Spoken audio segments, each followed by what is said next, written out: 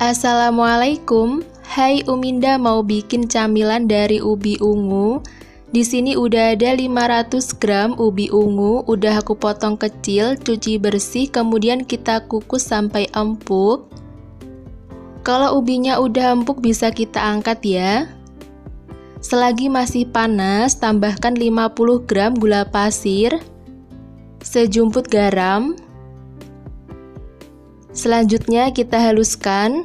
Untuk menghaluskannya saya menggunakan ulekan atau teman-teman blender juga bisa ya. Untuk gula pasirnya bisa ditambah atau dikurangi tergantung tingkat kemanisan dari ubi ungunya. Teman-teman bisa cicipin dulu kalau kurang manis bisa ditambah ya. Kalau ubi ungunya udah halus, kita siapkan kulit lumpia. Ini saya potong kecil memanjang.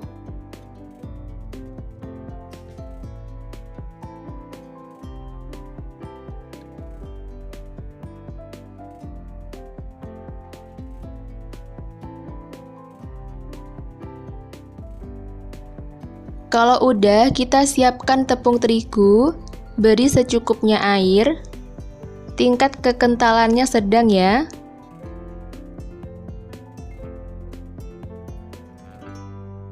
Ambil secukupnya ubi ungu, ini saya bentuk lonjong. Kemudian kita celupkan ke larutan tepung.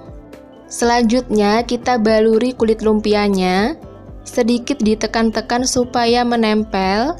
Kita ulangi lagi, ambil secukupnya ubi ungu, celupkan ke larutan tepung, dan kita baluri dengan kulit lumpia ya, sedikit ditekan supaya menempel.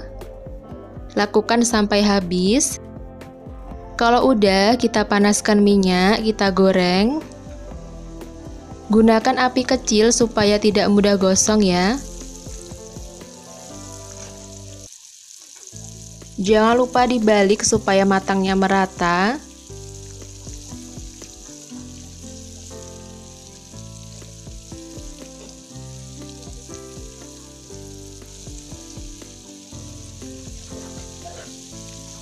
Kalau udah matang, bisa kita angkat dan tiriskan. Ulangi lagi ya gorengnya sampai habis.